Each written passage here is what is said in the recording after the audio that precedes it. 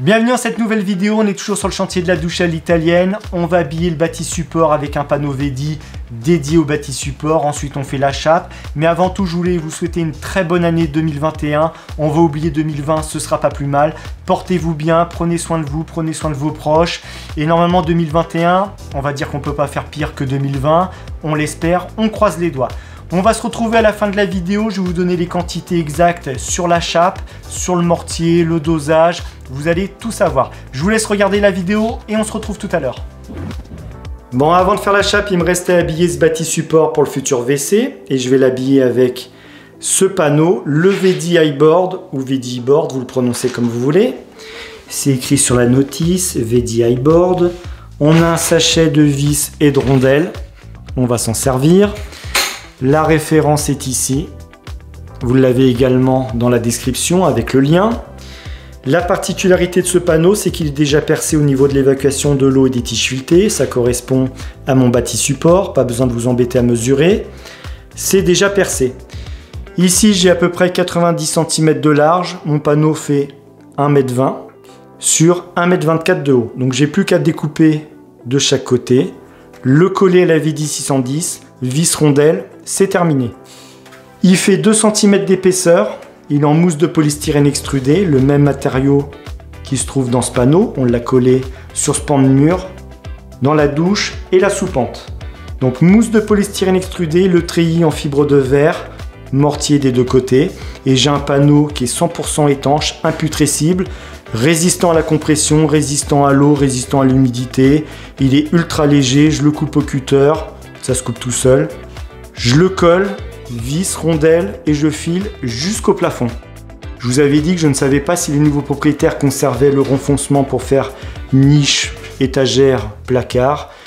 C'est pas leur salle de bain principale, ils préfèrent que je file jusqu'au plafond, dans le sens où ça va être un nid à poussière, ils vont rien ranger dedans, en sachant que moi j'ai un accès en dessous. Quand on en sera à faire la buanderie, je vous montrerai. Donc je le colle jusqu'au plafond et dès que c'est fait, on s'occupe de la chape.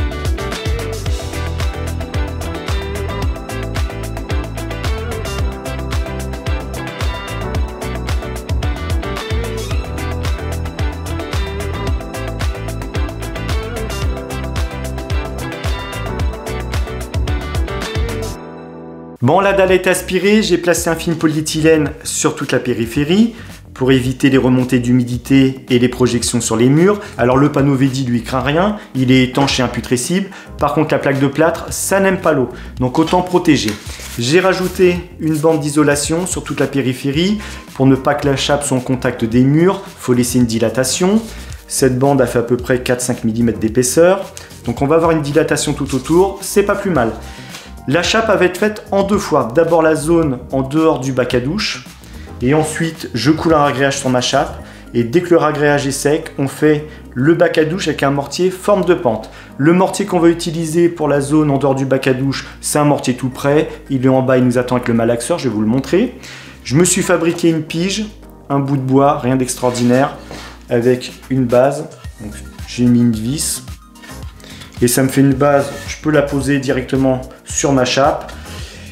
C'est plus large que mon bout de bois, au moins je suis bon. Et sur ce bout de bois, j'ai mis un mètre sol fini. J'ai déduit mon ragréage, col carrelage et le carrelage.